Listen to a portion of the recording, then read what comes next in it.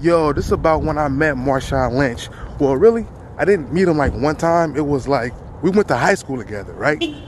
We had gym class my freshman year at Oakland Tech. Just like 2002, 2003 year.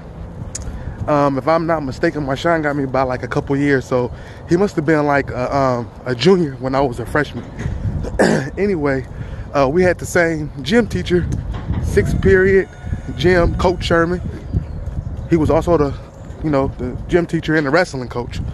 And um, so it was one incident, man. We was playing basketball in the gym, you know, and I'm D'ing him up. I'm D'ing up Marshawn, and he doing his thing. Boom, boom, boom, boom, boom.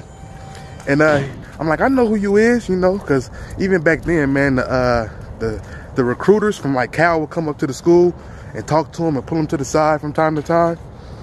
And so uh, he was already like, you know, known.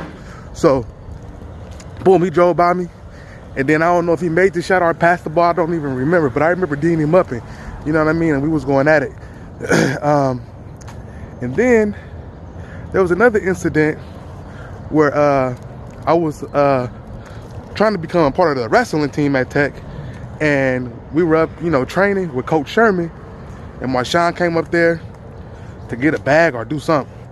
And Coach Sherman was always trying to recruit Marshawn, like, yo, come be a part of the, the wrestling team. You know, every great football player got to play.